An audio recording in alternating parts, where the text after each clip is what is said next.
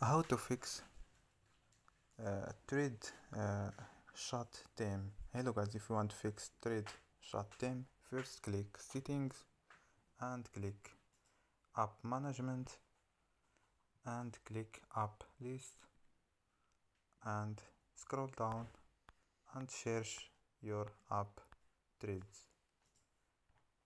Click threads and click force stop and after these steps click sto storage and click clear data.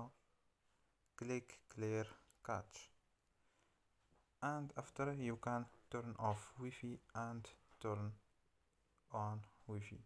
So don't forget like and subscribe. And bye